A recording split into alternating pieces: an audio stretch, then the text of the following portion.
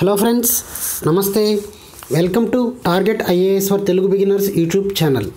Friends మనం మన target IAS for Telugu beginners YouTube channel ద్వారా సివిల్ సర్వీసెస్ ఎగ్జామినేషన్కి సంబంధించినటువంటి syllabus examination procedure question paper విధానం ఎన్సీఈఆర్టీస్ పైన పూర్తి వివరణ డైలీ కరెంట్ అఫైర్స్ ఇటువంటివన్నీ. అంటే ఒక తెలుగులో సివిల్ సర్వీసెస్ ఎగ్జామ్ని బిగిన్ ఎవరైతే చేస్తున్నారో లేదా ఇప్పుడే సివిల్ సర్వీసెస్ ఎగ్జామినేషన్ బిగిన్ చేయాలి అనుకుంటున్నారో? అటువంటి వాళ్ళకి సంబంధించినటువంటి పూర్తి వివరాలు అనేది మన ఛానల్ ద్వారా అందిస్తున్నాం కదా. సో ఈ వీడియోలో మనం ఈరోజు ఉన్నటువంటి ఇంపార్టెంట్ కరెంట్ అఫైర్స్ గురించి డిస్కస్ చేద్దాం. ఎవరైతే ఈ వీడియోతో మన ఛానల్ని ఫస్ట్ టైం చూస్తున్నారో ప్లీజ్ మన ఛానల్ని సబ్స్క్రైబ్ చేయండి షేర్ చేయండి లైక్ చేయండి. మన ఛానల్ అనేది తెలుగు మీడియంలో ప్రిపేర్ అవుతున్నటువంటి వాళ్ళకి బిగినర్స్గా ఉన్నటువంటి వాళ్ళకి ఎటువంటి డౌట్స్ ఉన్నా సరే ఆ డౌట్స్ అన్నిటిని క్లారిఫై చేయడానికి ఒక మంచి వేదికగా ఉపయోగపడాలనేది ముఖ్య ఉద్దేశం అన్నమాట. సో ఆ దృష్టితో అందరూ కూడా ప్లీజ్ మన ఛానల్ని షేర్ చేయండి సబ్స్క్రైబ్ చేయండి. సో ఈరోజు మనం సబ్జెక్ట్లోకి ఎంటర్ అయితే ఈరోజు ఉన్నటువంటి ఐదు ముఖ్యమైనటువంటి కరెంట్ అఫైర్స్లో ఫస్ట్ వన్ కోసోవో కొసోవో.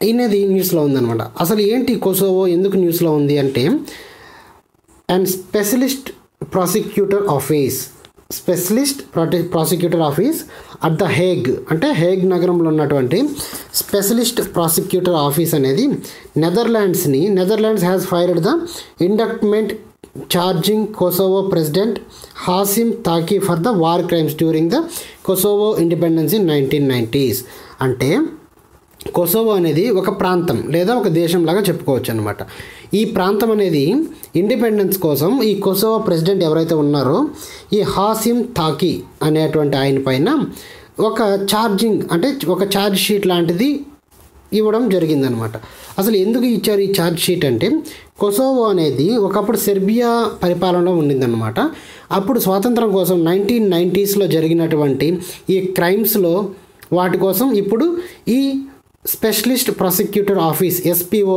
అనేది ఈ హాసిమ్ తాకీకి ఛార్జ్ ఇవ్వడం జరిగిందనమాట ఛార్జ్ షీట్ అనేది. సో కాబట్టి ఈ కంటెస్ట్ మనకి ఇక్కడ ముఖ్యంగా ఇంపార్టెంట్ ఏంటంటే కొసోవో అంటే ఏంటనేది ఇంపార్టెంట్. అసలు స్పెషలిస్ట్ ప్రాసిక్యూటర్ ఆఫీస్ అనేది ఏంటి? అది హేగ్ నగరం నగ నెదర్లాండ్స్లో అది ఉంది కాబట్టి దాని గురించి మనం చదువుకోవాలన్నమాట. సో ఇక్కడ మనం కొసోవో నగరం కొంచెం ఒకసారి గమనిస్తే Kosovo is partially recognised state in the south east Europe చూడండి. పార్షియల్లీ రికగ్నైజ్డ్ స్టేట్ కొసోవో అనేది ఒక దేశము ఒక ప్రాంతం కాదు. It is a partially recognised state in the south east Europe subject to the territorial dispute with the Serbia సెర్బియాతో territorial dispute అనేది దీనికి ఉందన్నమాట. So Kosovo is a landlocked country landlocked centre of the Balkans and the bordered by the uncontested territory of the Serbia and to the north east east North Macedonia to the south east so మనకి ఇక్కడ Serbia నార్త్లోను ఈస్ట్లోను Serbia ఉంది మనకి. And north Macedonia to the south east south ఈస్ట్లో north Macedonia ఉంది. Albania Albania to the south west south వెస్ట్లో ఏమో మనకి ఆల్బేనియా అనేది ఉంది. And Montenegro to the west అనమాట సో కాబట్టి ఈ కోసోవోకు ఉన్నటువంటి ఈ బౌండరీస్ అనేది మనకి ఇంపార్టెంట్ దాంతోపాటు ఇట్ ఈస్ అ క్లా capital of the Pristina it is a capital of the Pristina అంటే దీనికి ఉన్నటువంటి క్యాపిటల్ ఏంటి? మనకి ఇట్స్ క్యాపిటల్ ఈస్ ప్రిస్టీనా అనమాట సో కొసోవో అనేది ఒక సెమీ స్టేట్ అనమాట సెర్బియా నుంచి స్వతంత్రం పొందింది. ఎందుకు న్యూస్లో ఉంది? దాని ప్రెసిడెంట్ ఎవరైతే ఉన్నారో అతని పైన ఎస్బిఓ అనేది ఛార్జ్ షీట్ అనేది ఇవ్వడం జరిగింది. ఎందుకంటే వాళ్ళ స్వతంత్ర సమయంలో జరిగినటువంటి క్రైమ్స్కి సంబంధించినటువంటిది అనమాట సో ఈ కంటెస్ట్లో మనం దీన్ని చదువుకోవాలి. నెక్స్ట్ రెండోది అతి అతి ముఖ్యమైనటువంటి ఇంపార్టెంట్ సంకల్ప్ పర్వ. ఇది మన ఇండియన్ గవర్నమెంట్కి సంబంధించినటువంటిది అనమాట సంకల్ప పర్వ. అసలు ఏంటి సంకల్ప పర్వ అంటే ఏంటంటే on call of the prime minister and union cultural ministry will celebrate the Sankalp Parva to plant the trees from twenty eighth June to twelfth July twenty twenty. అంటే మన గౌరవ ప్రధానమంత్రి మరియు యూనియన్ కల్చర్ మినిస్ట్రీకి సంబంధించినటువంటి మంత్రివర్యులు కలిసి సంకల్ప పర్వ అనే దానికి ఒక దానికి నాంది పలికారు అనమాట అసలు ఏంటి సంకల్ప పర్వ అంటే ట్వంటీ ఎయిత్ జూన్ నుంచి ట్వెల్త్ జూలై వరకు మనకి ట్వంటీ ట్వంటీ అంటే ఈ రోజు ట్వంటీ ఎయిత్ నుంచి వచ్చేటువంటి ట్వంటీ ట్వెల్త్ జూలై వరకు చెట్లు నాటేటువంటి కార్యక్రమం అనేది ఈ సంకల్ప పర్వాల్లో చేయడం జరుగుతుందన్నమాట.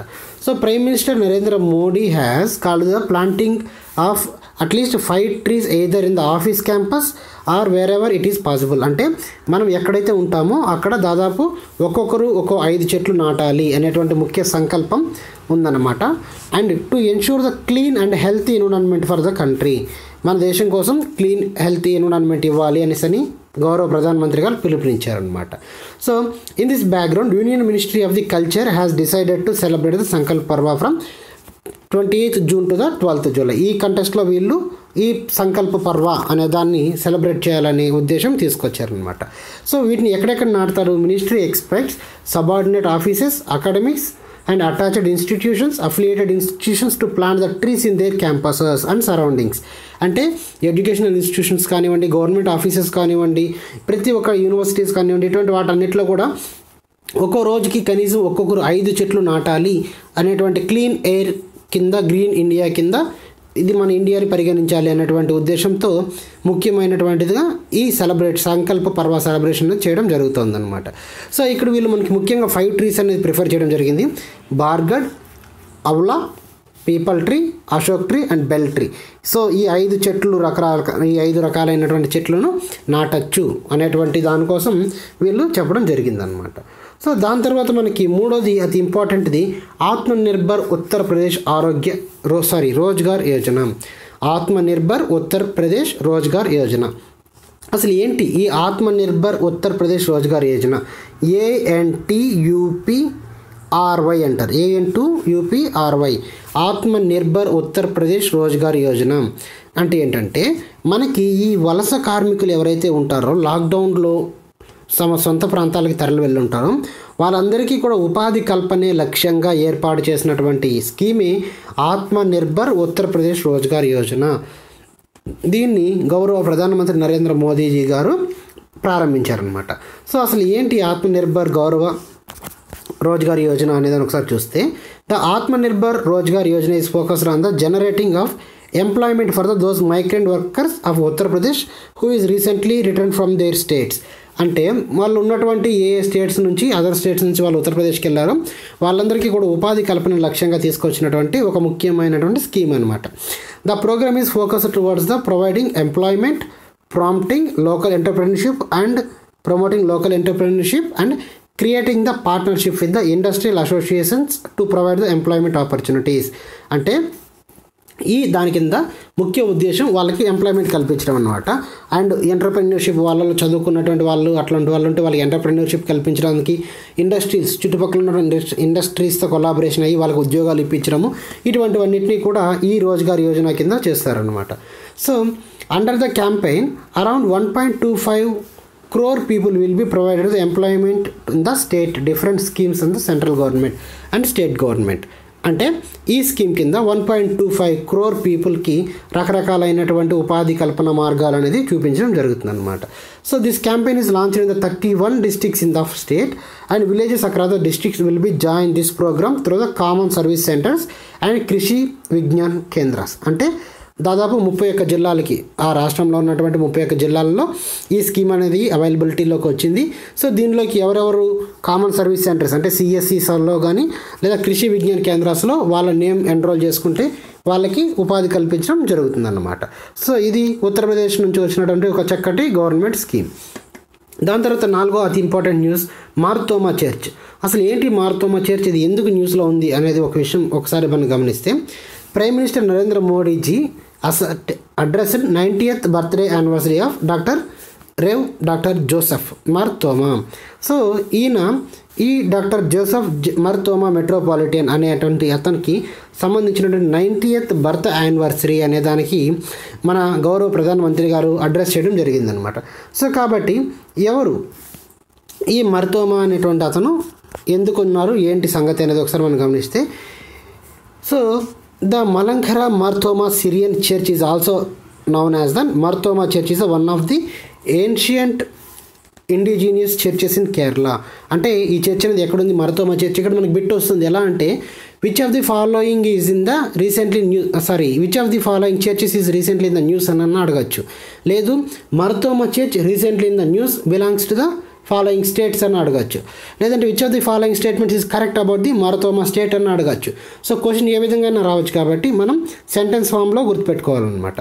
So Marthoma church is one of the ancient indigenous churches in the Kerala మనకు తెలుసు కేరళలో ఉన్నటువంటి ఇది ఒక చర్చ్ అనమాట it is traditionally believed that the saint Thomas is the discipline of Jesus Christ is came to India in fifty two AD to establish this church అంటే ఈ చర్చ్ని వీళ్ళు ఎలా నమ్ముతారంటే ఈ చర్చ్ అనేది జీసస్ క్రైస్ట్ డిసిప్లిన్ ఆఫ్ అంటే Saint Thomas అనే అతను ఫిఫ్టీ టూ ఏడీలో ఈ చర్చ్ను స్వయంగా ప్రారంభించారు అనేటువంటిది అక్కడ ప్రజల యొక్క నమ్మకం అనమాట so the church is presently headed by the twenty first Malankara metropolitan metropolitan doctor rev Joseph Marthoma. అంటే ఈ చర్చ్ అనేది present doctor rev Joseph Marthoma అనేటువంటి అతని హెడెడ్గా ఉన్నాడనమాట సో ఈ headed the church for last thirteen years గత పదమూడు సంవత్సరాల నుంచి కూడా ఈ మరతోమా అనేట అతను ఈ చర్చ్కి హెడ్గా ఉన్నాడు అనమాట the church runs in the various social welfare institutions destitutes homes and hospitals colleges schools and technical institutions etcetera అంటే ఈ చర్చ్ అనేది దేశంలో రకరకాలైనటువంటి సంక్షేమ పథకాలు స్కూల్స్ కాలేజెస్ మరియు వివిధ రకాలైన హాస్పిటల్స్ ఇన్స్టిట్యూషన్స్ సాంఘిక సంక్షేమాలు ఇటువంటి వాటన్నిటిలో కూడా ప్రముఖమైన పాత్ర పోషిస్తుంది. సో కాబట్టి ఈ కంటెస్ట్లో మనం మరుతోమ చర్చ్తో పాటు ఇటువంటి సంస్థలకి సంబంధించినటువంటి ఏ విధమైన అభివృద్ధి పనులు అనేటివాటికి ప్రభుత్వ సహకారాలు ఉంటాయి లేదా వాటి ద్వారా ఎటువంటి సాంఘిక కార్యక్రమాలు చేయబడతాయి ఇటువంటివన్నిటిని కూడా మనం చదువుకోవాలన్నమాట. దాని తర్వాత ఫిఫ్త్ వన్ అతి ఇంపార్టెంట్ న్యూస్ మ్యారీ జాక్సన్. మనకి ఈ రోజు న్యూస్లో ఈ మ్యారీ జాక్సన్ అనే అతను న్యూస్లో ఉన్నాడు అనమాట అసలు ఏంటి మ్యారీ జాక్సన్ అనేది చూస్తే ఎందుకు న్యూస్లో ఉందని చూస్తే space agency of NASA announced that the its headquarters Washington DC. అంటే వాషింగ్టన్ డీసీలో ఉన్నటువంటి NASA headquarters would be named after the Mary uh Jackson.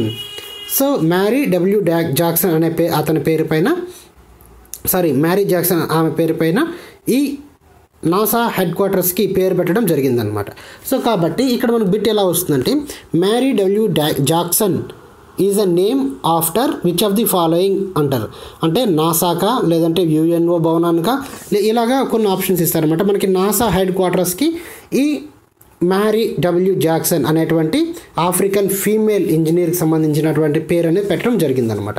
అసలు ఎవరి ఈమె అనేది ఒకసారి గమనిస్తే Mary Jackson nineteen twenty one నుంచి టూ థౌజండ్ ఫైవ్లో చనిపోయారు. నైన్టీన్ ట్వంటీ వన్లో బర్త్ అయ్యారు.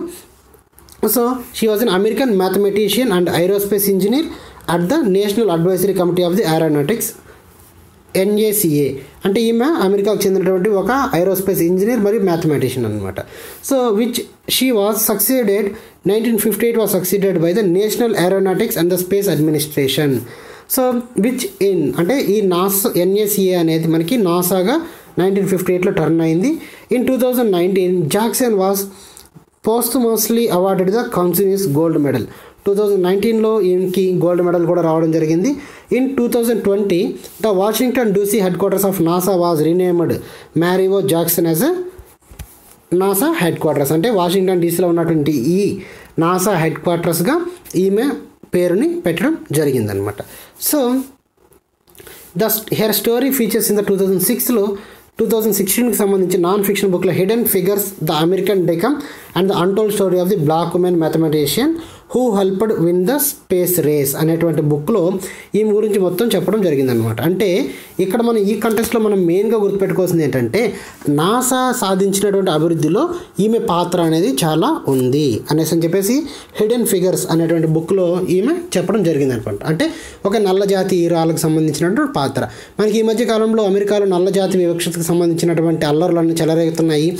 ఈ కంటెస్ట్లో మనకి ఎవరు టచ్ చేయలేనటువంటి ఏరియా అయినటువంటి దీన్ని బిట్ బిట్టుగా అడిగేటువంటి ఛాన్సెస్ అనేది చాలా ఉన్నాయన్నమాట. సో కాబట్టి ఈ కంటెస్ట్లో మనం దీన్ని చదువుకోవాలి.